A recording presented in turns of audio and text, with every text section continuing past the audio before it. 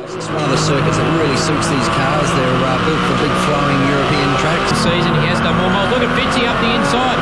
Reynolds actually won it, run a little bit wide through too, but Fitzy's had the slot in behind, and that's worked perfectly. Even on the final lap.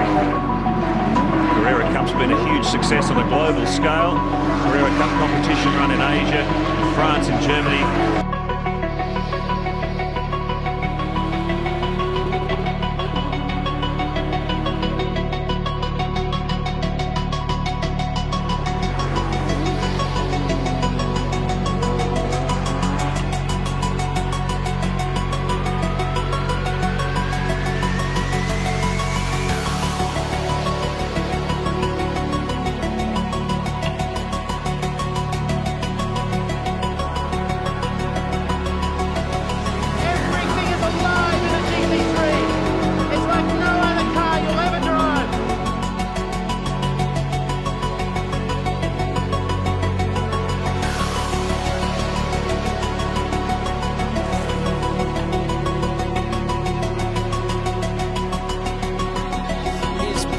Porsche GT3 Carrera Cup car.